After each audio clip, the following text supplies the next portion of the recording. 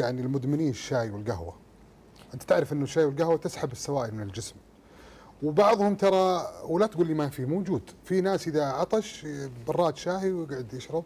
يعني والله العظيم إي والله يعني طيب للإجابة على كيف هذا تشوف السؤال يعني هذا الموضوع في جانب إيجابي وجانب سلبي لهذا الموضوع للقهوة والشاي. تفضل. اولا القهوة والشاي يعني يعتبران من مصادر السوائل للإنسان. يعني أنت تدخل في جسم الإنس- في جسمك ترى سوائل وهذا جيد. يعني كم نسبة الماء في الشاي؟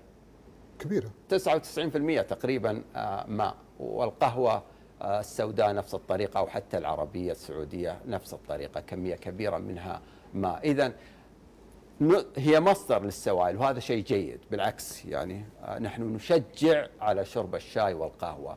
المشكلة إن إن فيها كمية ضئيلة مو كثيرة حقيقة خاصة إذا ما كنا نشرب يعني غير ثلاثة أربع أكواب باليوم الواحد كمية الكافيين قليلة فيها ليست كثيرة وهي التي تطرد كمية أخرى من السوائل خارج جسم الإنسان. لكن الداخل للجسم ترى أكثر من المفقود بالعكس هي تعتبر من مصادر ال- السوائل اللي يحتاجها جسم الإنسان.